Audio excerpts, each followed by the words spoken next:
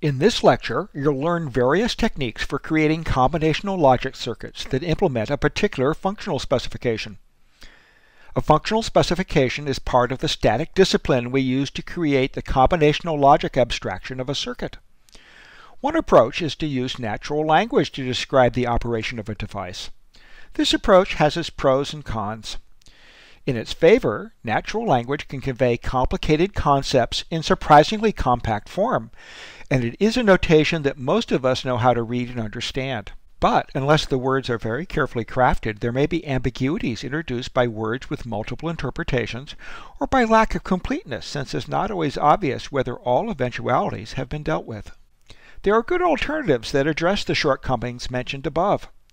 Truth tables are a straightforward tabular representation that specifies the values of the outputs for each possible combination of the digital inputs.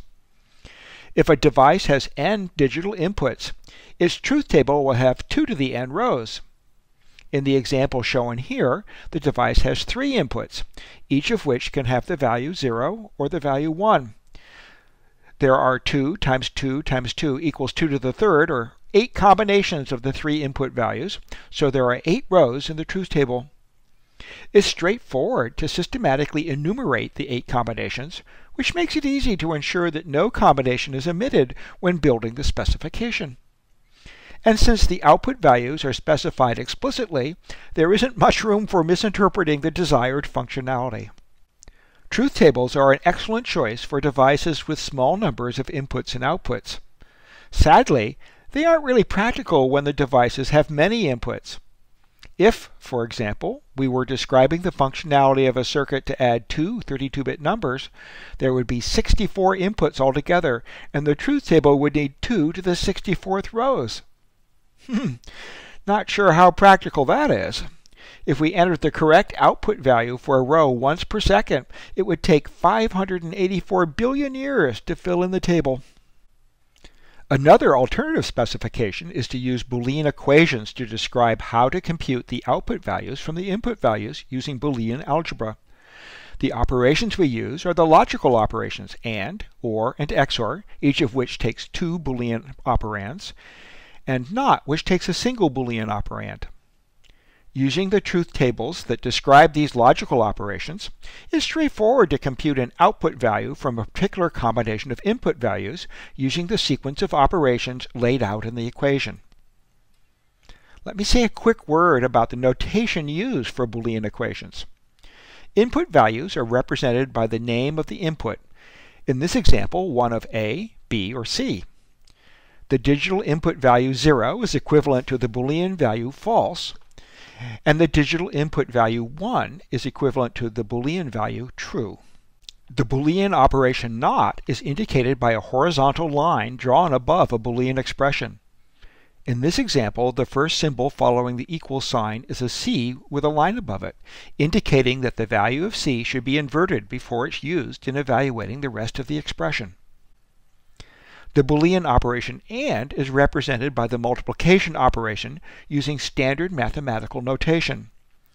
Sometimes we'll use an explicit multiplication operator, usually written as a dot between two Boolean expressions, as shown in the first term of the example equation. Sometimes the AND operator is implicit, as shown in the remaining three terms of the example equation. The Boolean operation OR is represented by the addition operation, always shown as a plus sign. Boolean equations are useful when the device has many inputs. And, as we'll see, it's easy to convert a Boolean equation into a circuit schematic. Truth tables and Boolean equations are interchangeable. If we have a Boolean equation for each output, we can fill in the output columns for a row of the truth table by evaluating the Boolean equations using the particular combination of input values for that row. For example, to determine the value of y in the first row of the truth table, we'd substitute the Boolean value false for the symbols a, b, and c in the equation and then use Boolean algebra to compute the result. We can go the other way too. We can always convert a truth table into a particular form of Boolean equation called a sum of products. Let's see how. Start by looking at the truth table and answering the question, when does y have the value 1? Or, in the language of Boolean algebra, when is y true? Well, y is true when the inputs correspond to row 2 of the truth table, or to row 4, or to rows 7 or 8. Altogether, there are four combinations of inputs for which y is true. The corresponding Boolean equation is thus the OR of four terms, where each term is a Boolean expression which evaluates to true for a particular combination of inputs. Row 2 of the truth table corresponds to c equals 0, b equals 0, and a equal 1. The corresponding Boolean expression is not c and not b and a, an expression that evaluates to true if and only if c is 0, b is 0, and a is 1.